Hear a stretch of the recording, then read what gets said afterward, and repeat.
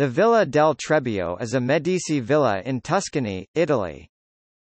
The villa is located near San Piero a Sieve in the Mugello region, in the province of Florence, in the area from which the Medici family originated. It was one of the first, if not the first, of the Medici villas built outside Florence. The estate is situated on a strategic position in the Apennines, on the top of a hill dominating the Val di Sieve, near a crossroads giving rise to its name, from the Latin trivium. The villa belonged to Giovanni di Bicci de' Medici, the founder of the Medici Bank and of the fortunes of the Medici family. Following his death in 1429, it was remodeled by his son, Cosimo de' Medici, whose architect, Michelozzo, restyled it as a fortified castle.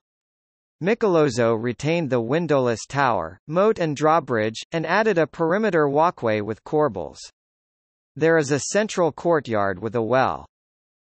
The villa remained essentially a fortified house, but various features indicate its secondary purpose as a place of pleasure, including an early walled garden, built on two terraces beside the villa.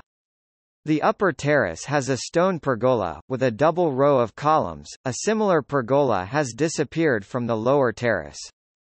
The garden was a place of retreat for Cosimo, away from the troubles of politics in Florence, where he could tend his fruit trees.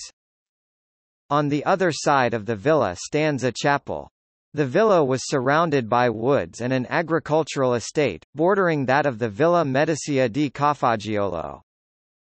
In the 16th century the villa was enlarged by Cosimo I de' Medici, Grand Duke of Tuscany, who enjoyed hunting in the estate, and his son Ferdinand I. Ferdinand II sold the estate to a wealthy Florentine, Giuliano Serragli, in 1644, who gave it to the Oratorians.